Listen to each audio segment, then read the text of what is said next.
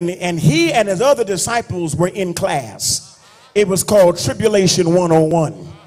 And when they were in class, God sent a storm down to blow upon that sea and the wind and the rain and the thunder and the lightning started crashing. And the waves beat against that ship so much so they had to try and pitch the water out of the boat. And they were sinking and perishing. And Jesus thought it'd be a great moment to teach them how to handle tribulation when you don't have the power in your hands to fix it. Jesus goes down in the bottom of the ship and Jesus lays out his cot and he takes a nap and he goes to sleep. Peter comes running down and saying, Master, don't you care that we perish? And Jesus says, As long as I'm on the boat, I'm paraphrasing, as long as I'm on the boat, you ain't got nothing to worry about. No storm can kill you when I am on the ship.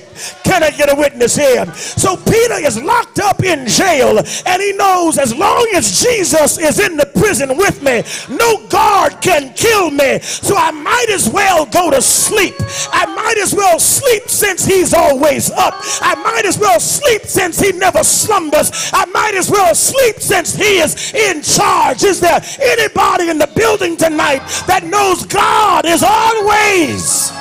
Yeah, yes, yes, yes, yes. He's always in in charge. He's he's always awake. Faith faith is resting. Faith is resting when you ought to be struggling. Faith faith is sleeping knowing that God is working. Faith is confidence in what you cannot control. Faith is when you've done all you can do and you can't do anything else. So you resign the rest of the work in God's hands. Can I get a witness here? If somebody called it blind faith, and you know what? That's exactly what it is. It's whatever you can't see, but that's okay because we walk by faith and not by sight. Whenever you can't heal yourself, you might as well trust God. Whenever you can't deliver yourself, you might as well trust God. Whenever you can't bring yourself out, you might as well trust God. Whenever you can't deliver yourself, you might as well trust God. Is there anybody in the building that's ever been at a place where you could not do it for yourself? When you were locked up and bound up, and all you could do was hold on to God's Is anybody here know he is able to see us through. And so it is that Peter is between two guards behind 16 soldiers deep in the third ward of the prison. And at, at night, while he was asleep, I don't know why I can't get off this. God does his best work while we are asleep. Adam met Eve while he was asleep. Oh, yes. Jacob wrestled with the angel while he was asleep. Daniel saw the vision while he was asleep. Ezekiel caught the glimpse of the wheel in the middle of the wheel while he was asleep. Can I get a witness here? God spoke to Elijah in a still small voice while he was in a vision. Is there anybody here that knows God does his best work while we are asleep? When we throw our hands up and say, I can't do it myself, that's when God does his best.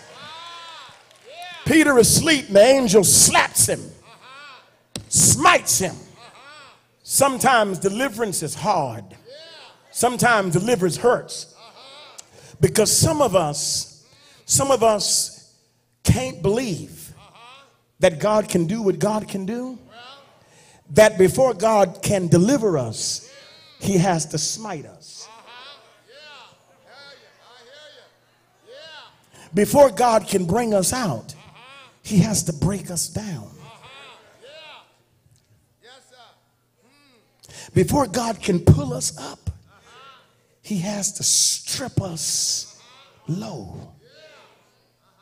So before Peter gets delivered, he gets smitten. Bible says the angel struck him.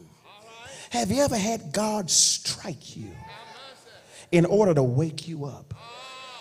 Have you ever had, have you ever been so lost that you didn't know where you were, spiritually where you were, emotionally where you were? You didn't know where your faith was.